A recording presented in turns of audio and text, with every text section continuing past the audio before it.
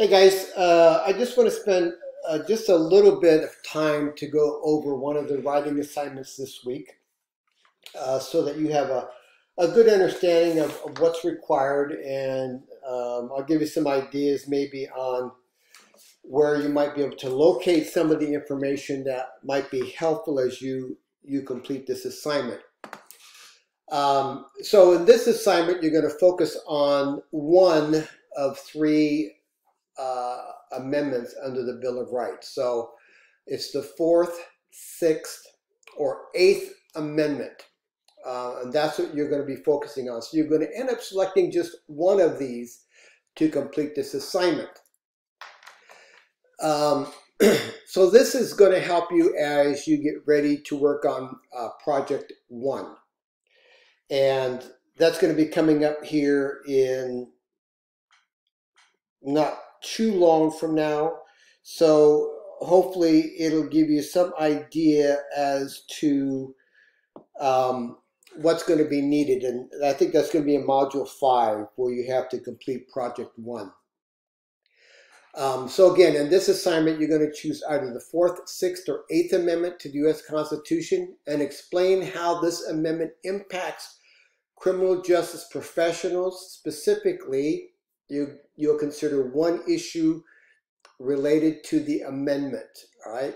So uh, first you have to select an amendment, and then you need to watch, uh, depending on the amendment you select, uh, one of these videos that corresponds to your uh, selected amendment. So if I was going to write about the Fourth Amendment, then I would click on uh, this video on search and seizure issues. If I was going to do due process on this one, Eighth Amendment, and so forth. All right. And so what's going to be required for this assignment? Uh, first thing you have to do is provide a summary of this uh, amendment. So in 100 to 150 words, summarize the amendment you choose. Be sure that your summary includes the following so you need to describe and tell me all the rights given to the citizens in this particular amendment. So you're going to have to read the amendment so to understand what it basically says and what rights you as a citizen have benefit from this amendment. Next, you're going to have to do citizens' rights. And here you're going to identify a real world example of where citizens' rights under the Bill of Rights may not be guaranteed. So, in other words, uh, the Fourth Amendment, for example, uh, prevents unreasonable searches and seizures. And so the courts have identified those searches that are not unreasonable. In other words, your rights are not guaranteed. So, for example, a search incident to a lawful arrest. The police officer does not have to have probable cause. So that's one of the exceptions to the rule um, exigent circumstances that require police to take immediate action. Uh, if the police were to see something uh, as part of that exigent, exigency, um, then that whatever they see as part of that emergency uh, would be um, admissible. For example, let's say uh, they get a call about domestic violence and they get to the door and they hear arguing inside and a woman screaming for help uh, they have a right to move in quickly to prevent harm to that woman. Uh, and let's say once inside, they see evidence, uh, that evidence would be admitted under the exigency. So our textbook is going to provide you with the real world examples through cases where citizens' rights under certain amendments may not be guaranteed. Right. Uh, again, if we look at the Sixth Amendment, the Sixth Amendment is your right to legal representation. But as you will recall, uh, in doing a live lineup at a jail, um, the police do not have to notify your attorney if you haven't been officially charged with the crime yet. Uh, prior to that time that you've been officially charged with the crime, they are allowed to have you in a lineup and don't have to notify any legal representative. So that's another example.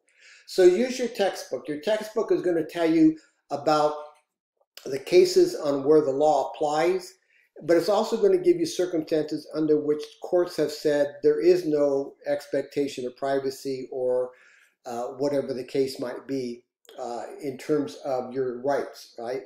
Um, another good example for the Fourth Amendment is searching your garbage. Uh, there's no reasonable expectation of privacy for the police to search your garbage once you put it out to the curb.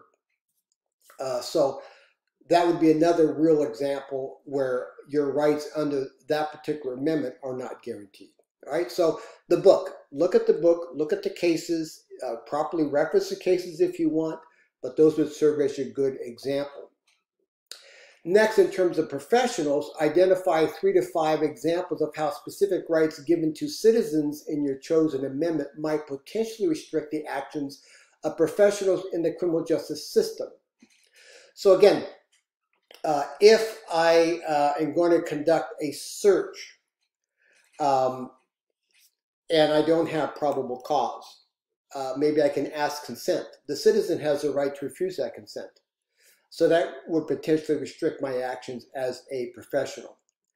Um, so the the other side of the fact that a, a, defendant also has the right to have an attorney at some point that could restrict my actions as a criminal justice professional because I just can't go talk to a person once they have an attorney. I have to work for the attorney, and any smart attorney is going to tell the defendant not to talk to the police. All right.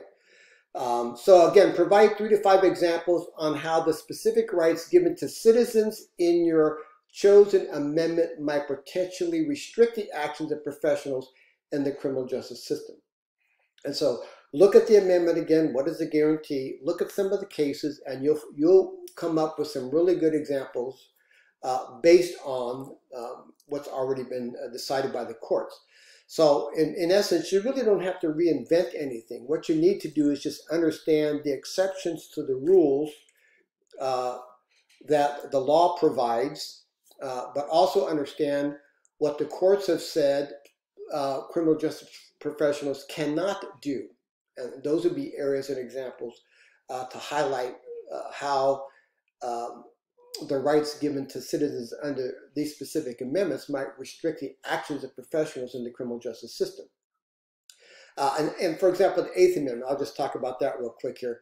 The Eighth Amendment, uh, let's say uh, criminal and use of punishment, the death penalty.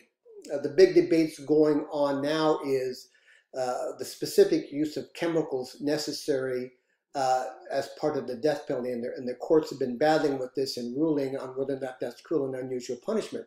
But the point being that when the courts say, for example, that the use of certain chemicals is cruel and unusual punishment, uh, that restricts the action of the professional. So you have to come up with another means, an alternate means of uh, producing death, so to speak.